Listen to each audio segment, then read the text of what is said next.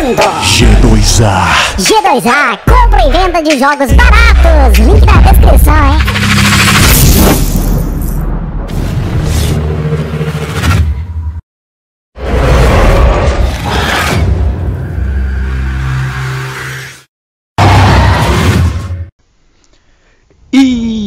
Aí pessoal, tudo de boa? Cagan Solano? Aqui galera, sejam todos bem-vindos a mais um vídeo do canal. Bom galera, mais um vídeo de Yu-Gi-Oh! aqui, dessa vez trazendo um KGD né? Trouxe pra vocês hoje o Cosmo of Demais, o Cosmo Demais Que pegou o top 8 no, Nas... Pera, é no American North Championship Tournament né? Ou NAWCQ para os mais íntimos. Eu acho que seria Now, não, enfim, é um torneio bem importante, né? E o cara conseguiu pegar top 8. E eu achei que seria uma excelente oportunidade para poder falar da, do Cosmo Demais para vocês, que eu acho que eu ainda não comentei. Então, vamos passar a decklist aqui e aí em seguida eu vou comentando algumas coisas, né? Vamos lá, 3 Cosmo Dark Destroyer, 1 um Cosmo Firerunner, 3 Cosmo Limp Rider, 1 um Cosmo Dark Lady, 2 Cosmo Familiar, 3 Cosmo Tinkan.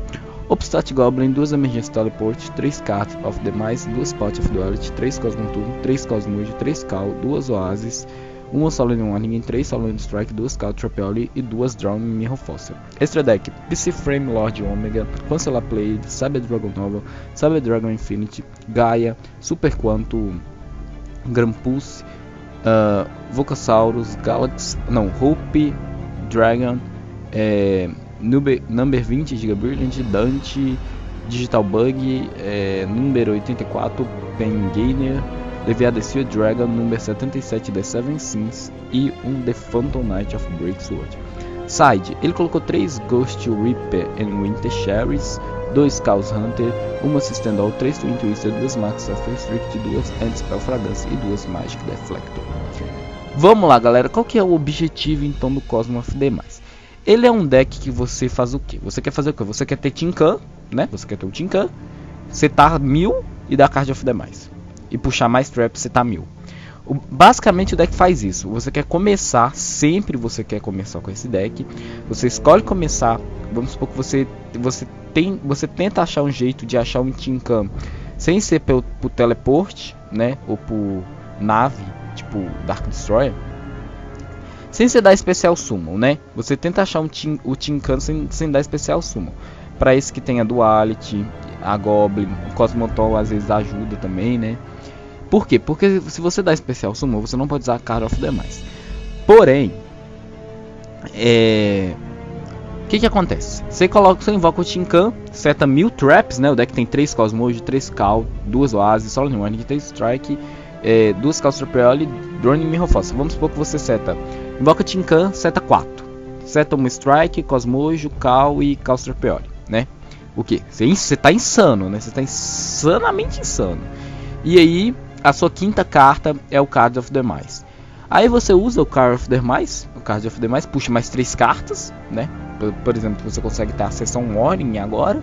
Você seta ele lá, e na sua end fez as cartas que você, você tiver na mão vai pro cemitério, tipo, foda-se. E, e o Tinkan resolve. E aí você adiciona um Dark Destroyer, um Slim Prider, uma Dark Lady, ou Far, provavelmente Forerunner não, Dark Destroyer, Dark Lady ou Slim Prider para sua mão. E como é que vai fazer? O seu oponente tomando cu. Porque como é que ele vai jogar? Principalmente se ele tiver de Monarca. Qualquer outro deck, cara. Se você abre Console Strike, Cosmojo, Cal, Calstropioli, contra Barnabis, Cosmo. É, é, insano, cara. Basicamente o deck faz isso. Você invoca Tinkan, seta 5 e ganha o jogo. É, é, muito maluco, porque o Tinkan, como ele manda os bichos tudo pro grave, você tem Caos, tem Oasis, além de você ter as trap malucas, que é as Coulter, né? Strike, a Tropioli aqui, a, a Solemn Warning. O Tin, a Cal ainda traz um Destroyer, que destrói um monstro, ou que pode virar outra carta. Slim Prider, que ele destrói uma Spell Trap, a Dark Lady que ainda controla ainda mais o campo porque ela nega qualquer efeito, ao custo de mil pontos de vida. Sem falar que ela é um Cosmo Piloto, então você pode trigar ela e invocar uma nave. É bem louco. Mas uh, esse deck ele tem muitas fraquezas. Eu, eu, eu, eu, claro que eu acabei de falar pra você: se você invoca, você começa insano, você ganha o jogo. Porque, tipo, é muito difícil você não ganhar um jogo abrindo com Tinkan e 4 Coulter. É tipo, do caralho. Uh, é, vamos lá. Vamos a um pouco aqui do deck que eu quero comentar pra vocês. Primeiro, é um deck que você gasta ponto de vida pra caralho. Você tem milhões de counter aqui, né? A causa que essa aqui já paga 2.000, essa aqui paga 1.500, essa aqui paga 2.000. É, o Tinkan ele paga 500 toda vez que ele ele ele tem os efeitos e a Dark Lady também e a Dark Lady paga 1000. Então você paga ponto de vida pra porra, dependendo do duelo, do desenrolado do duelo, você vai pagar ponto de vida pra caralho. Outra coisa, ele não é, eu não considero ele um deck muito bom pra, no, para o desenrolado do duelo. O que, que é isso? É quando você tá no meio do jogo, porque esse tipo de deck é ganhar rápido. Você invoca o Tinkan, seta 4, 4 counter, seu oponente não consegue jogar, no próximo turno você vem e esmaga ele. Porque se o Tinkan sobreviver, ele triga na endphase do seu oponente você pode buscar outro Cosmo. Então é extremamente maluco, né? Então dá pra ganhar. Só que no meio do jogo, eu, eu não considero esse deck muito bom, porque algumas cartas aqui no meio do jogo não ficam tão boas. É, por exemplo, Strike, Warning, Castor Predator são cartas que eu não, que eu não considero muito boas no meio, no, no meio do jogo. Carta que eu considero boa no meio do jogo aqui é a Cal. A Cal ela pode ser uma carta que pode te salvar no meio do jogo. A Drowning Mirrorforce é muito maluca nesse deck, porque se você não consegue ter acesso a monstros, você zilhões de trap e o seu oponente invoca zilhões de monstros e você não ativa counter nenhuma, se o seu oponente for um pouquinho mais, ter um pouquinho mais de desconfiômetro e você tá setado 5 cartas, não ativou counter trap nenhuma, ou ele vai achar que você tá lotado de cal de oásis, né? Tipo, abrir com 3 caos, 2 oásis, acabou o sonho, porque você vai ser esmagado, principalmente se tiver contra o Burn Abyss. Ou ele vai falar assim, hum, tô achando que ele tem uma drone Mirror Forcer ali, e aí ele vai jogar tentando contornar ela. Pra quem não sabe, galera, essa Mirror Forcer é extremamente maluca. Se o seu oponente declara um ataque direto, todos os monstros dele em posição de ataque voltam pro deck, é embaralhado no deck. Isso é muito forte, cara, principalmente contra o Cosmo. E se o seu oponente desconfiar que você tem essa trap aqui setada, e pelo menos no caso do Barnabis, ele vai deixar o que? Um Dante em defesa, uma Beatriz em defesa, porque a Beatriz é insana, cara. E se você colocar ela em ataque só pra bater assim com um cara com uma Drone Mirror Foster ali te olhando, você deve estar. Porque assim, galera, o Cosmo the, o Cosmo mais eu tenho, pelo menos a maioria deles, se eu não tô enganado, usa a Drone Mirror. E você pode usar isso ao seu favor, porque eles são decks. Uh, que são iguais. Ele não é muito que você mexer, que você não pode mexer muito aqui no, num deck desse aqui. Você tem que ter a Card of Mais, óbvio. Você tem que ter é, meios para poder ter acesso a ela ou o Tinkan sem dar especial summon. Então Pot of Duality também é uma carta que eu considero quase obrigatória nesse deck, porque ela é um meio para você achar o Tinkan, o Ademais, né? E então, tipo, é, os decks, alguns são bem parecidos. Não é que pode diferenciar é que ele pode, sei lá, usar um Strawman usar uma Wicked Witch, que eu considero muito boa nesse deck. É, e usar outra, outra, outra strap, né? Tipo uma Botolemus, uma Vanity, né? Umas coisas assim, mas não. Eu acredito que seja isso aqui mesmo. A Calstrapiola é muito forte contra os decks atuais. Ela é muito forte contra o Barnabas, ela é muito forte contra o Cosmo. Então, é, ela é uma boa escolha, cara. Para quem quiser mais counter aí, Calstrapiola, finíssima. Bom, Continuando aqui, e aí o seu oponente pode tentar jogar contornando a, a Dragon Mirror Foster, né? Uh, que mais? Ah, e por que, que eu falei que ele é um deck ruim no meio do jogo? Porque se o, seu, se o seu oponente já tá com o jogo pronto, sei lá, vamos eu vou citar o Burn Abyss porque na minha opinião é um rival não, não é rival número 1 um do Cosmo. O rival número 1 um do Cosmo, é, que mais fode o Cosmo é, é o Monarca, mas isso é assunto para outra hora. Vamos falar do Barnabas. Eu vou dar um exemplo do Barnabas porque é mais tranquilo de vocês entenderem. Se um exemplo do Monarca, né, vai ser um pouquinho mais complicado. Do Barnabas. Vamos supor que seu oponente ele já está com o canto estabilizado. Ele, sei lá, já está com duas Beatriz, uh, um Dante, é, enfim, essas cartas, né? Duas Beatriz e um Dante. Tá bom.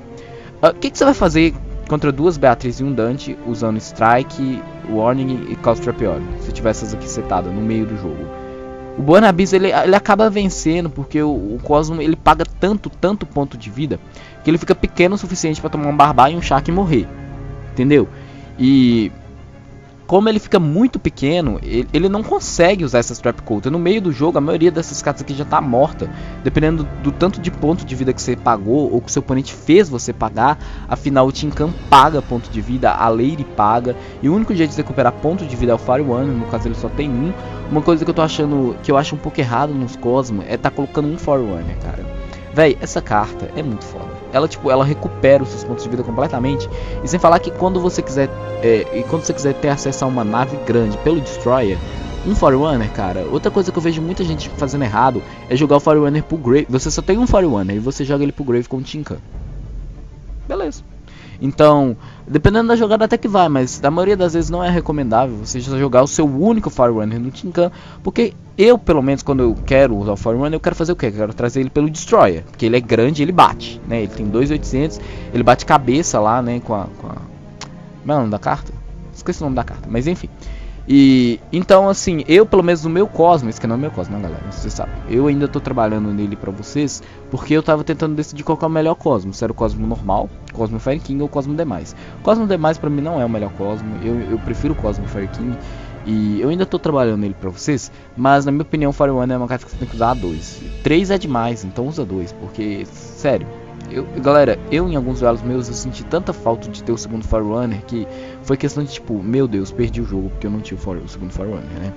E ela é uma carta que pode preocupar o seu oponente, porque enquanto ele estiver lá, você vai ganhar mil pontos de vida. E você vai ganhando. E quanto mais pontos de vida você vai ganhando, mais Cosmo você vai poder ativar, o que é desesperador. Porque além de tudo que eu esqueci de falar, a Cosmotal também não te perdoa, cara. Você vai pagar pontos de vida pra, pra usar Cosmotal.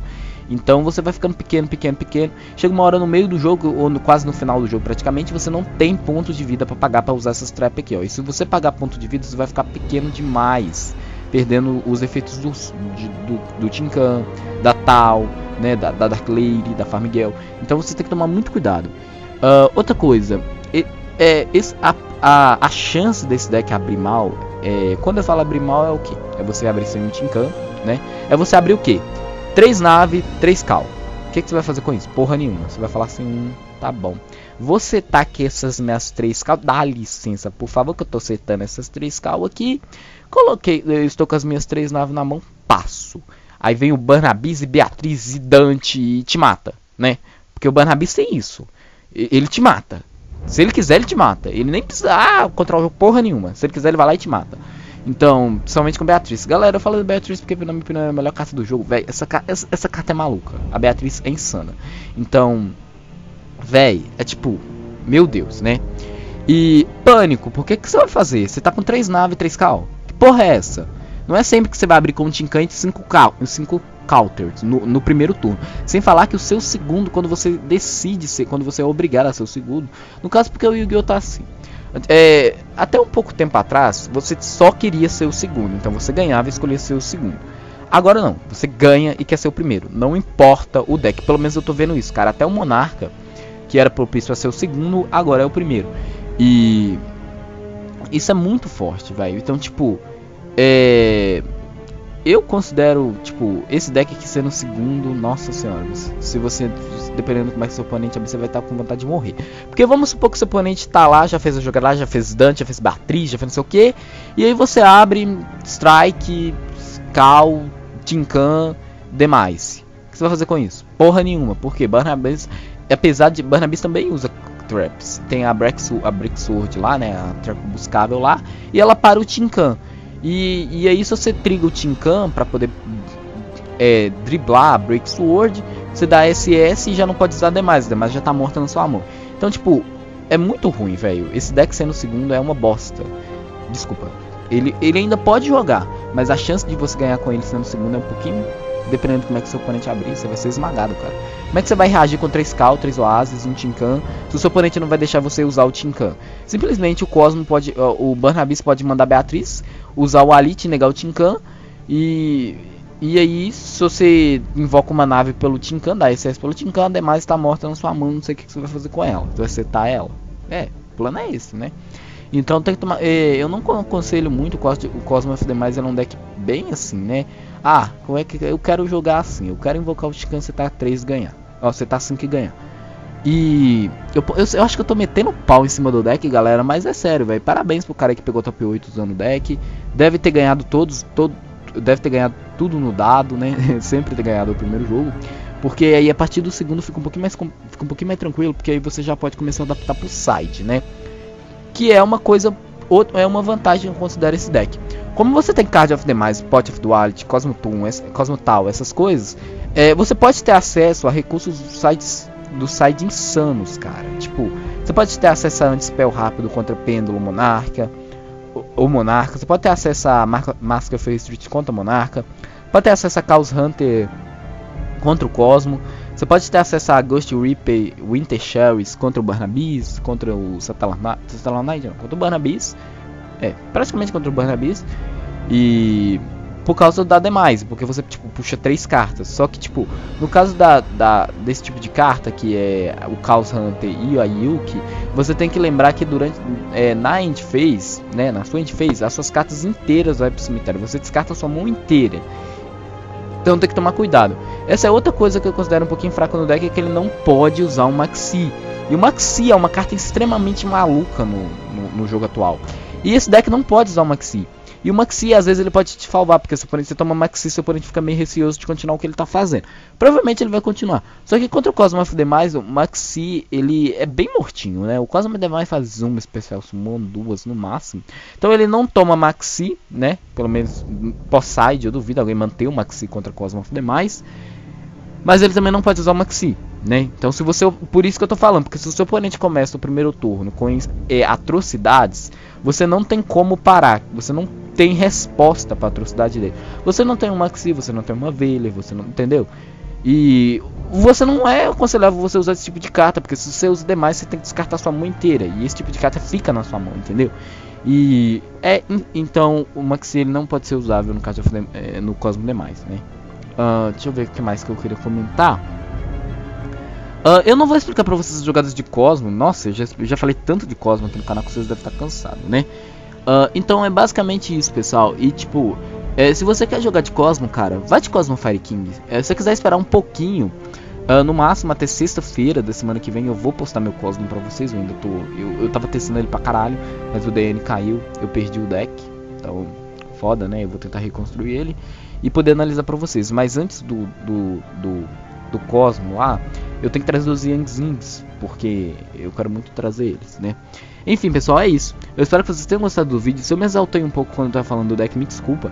Mas é porque ele não é só negatividade. Claro que, na minha opinião, ele tem pontos mais negativos do que positivos. Mas vamos, vamos, vamos combinar. Se você abre com Tinkan em 4 counters e você é o primeiro, é tipo, você tá feito na vida, né? Enfim, então é isso, pessoal. Espero que vocês tenham gostado do vídeo. Se você gostou do vídeo, por favor, não esqueça de deixar o seu like para ajudar na divulgação do vídeo e do canal. As redes sociais do canal se encontram na descrição do vídeo. Se você é novo no canal e gostou do que viu, no perdeu os nossos conteúdos, não esqueça de se inscrever.